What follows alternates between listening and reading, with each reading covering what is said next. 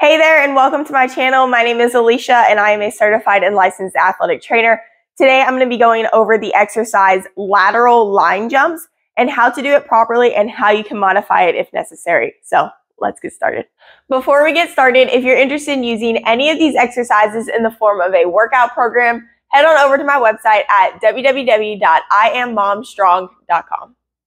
Now for this exercise, you're going to want to stand on one end of your mat or floor, and you're going to want to pretend that there is a line directly along the side of you, and we are going to be jumping from side to side of that line um, very quickly.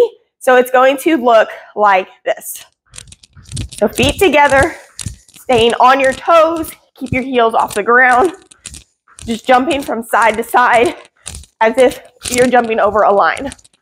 To modify this exercise, you're just going to stay up on your toes and step it out.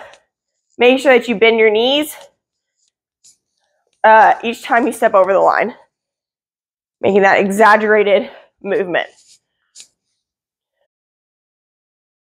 You can also just slow it down a little bit if you need to, or speed it up.